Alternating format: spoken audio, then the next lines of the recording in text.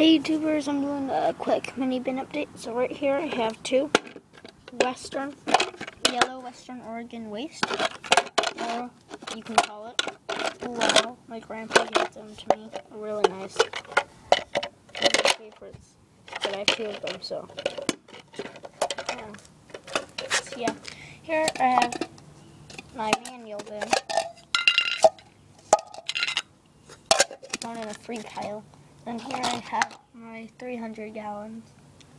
My three waste management. One with no lid, two with lid.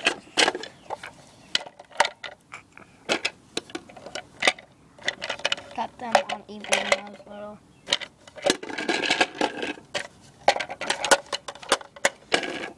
Here, I have too. For Pride. Lost the lid. Really nice though, one of my favorites. This one from Boise that my aunt gave me. This has no lid or wheels.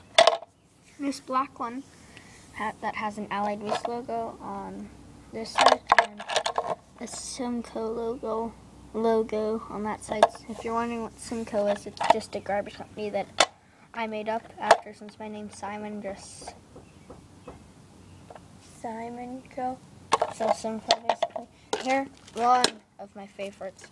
My blue Allied Waste. Lid sort of shot, but it still fits on. Like it can still hold on since it has one of its thingies.